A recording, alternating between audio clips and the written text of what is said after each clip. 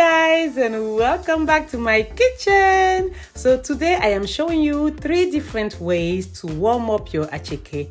Attieke is an ivorian food and it's cassava couscous.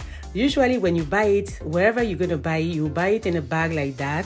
It's already made tied up in a bag like that and it's frozen because they keep it in the freezer. And if you buy it as well you usually normally you should store it in your freezer. And the day you want to eat it Take it out the day before and allow it to defrost at room temperature.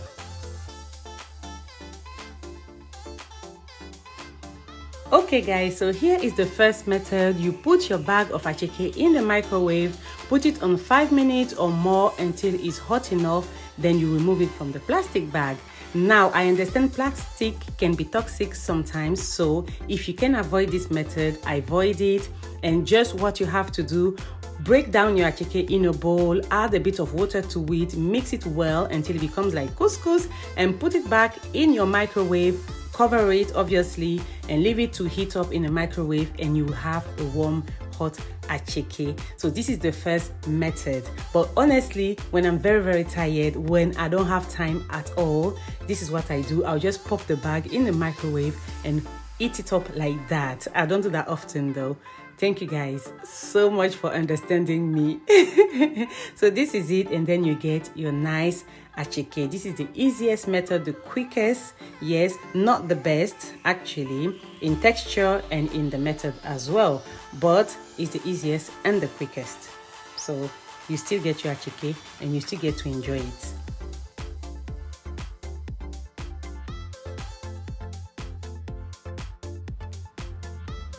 So here is the second method and the second method is the pan method. So you're going to pour it in your pan, obviously defrosted. Yes, it shouldn't be frozen like I said.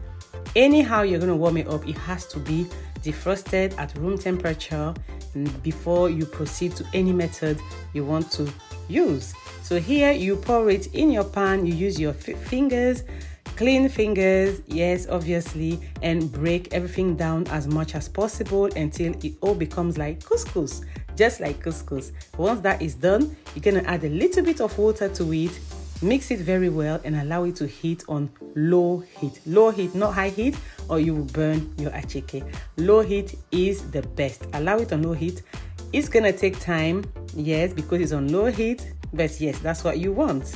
You want the good attieke nicely warmed up. So after that, you're gonna mix it nicely. While it's on low heat, you keep mixing, you keep mixing until it's hot, until it's nice and fluffy.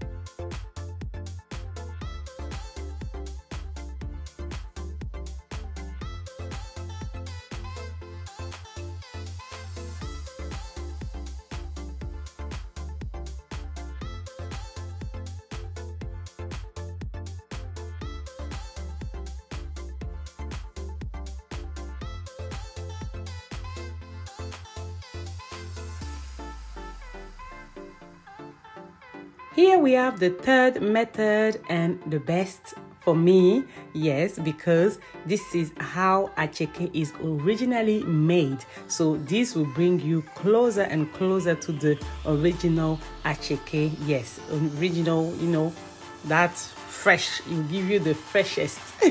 Can I say so? is that a word? The freshest attieke you will have. Yes.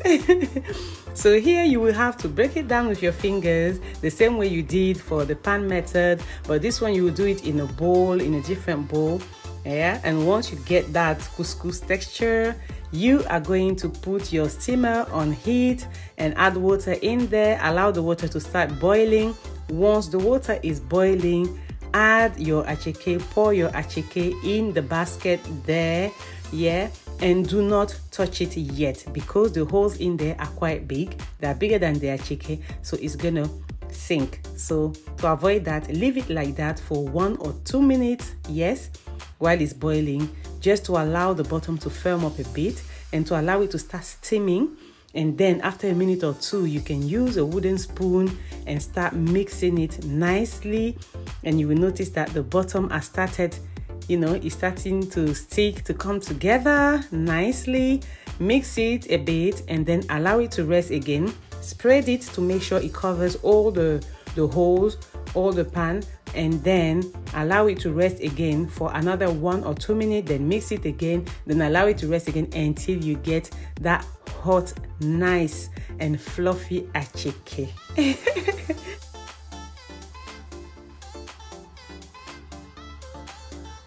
Okay guys, so here I just want to mention something. With the first two methods is good, but the thing is, for example, if you warm up your attieke and you don't eat it you, you don't eat everything at once and there you have some left there and you want to leave it on your counter table and maybe eat it the next day. With the first two methods it's most likely that it's gonna harden a bit. You're gonna have to add some water and warm it up again the next day the same way you did that first day. Yes but with this method of the steamer if you keep it and you don't eat everything and you keep some the next day you should be able to eat it without having to warm it up again it should still be nice and fluffy like that obviously you keep it in a closed container yeah yes so this is it